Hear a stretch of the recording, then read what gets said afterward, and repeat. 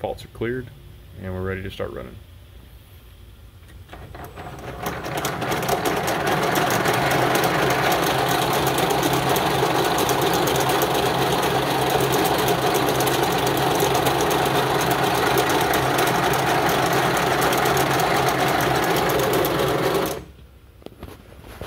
When you're first setting up the machine, you want to make sure that you have enough braided material to wrap around the capstan so that it could grab it.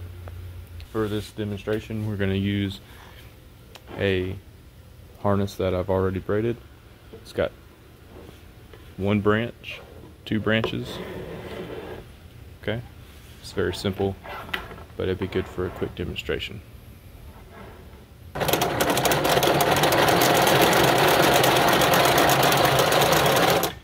And now that's secured and we can begin the process. I'll turn on this video camera. We'll resume and braid until our first branch comes up.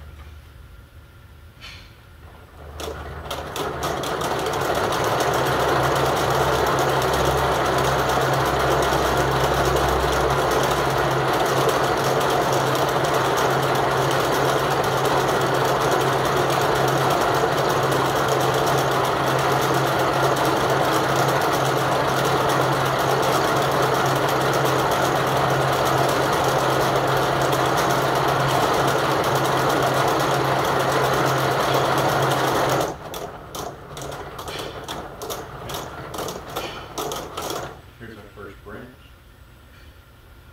Pull it out.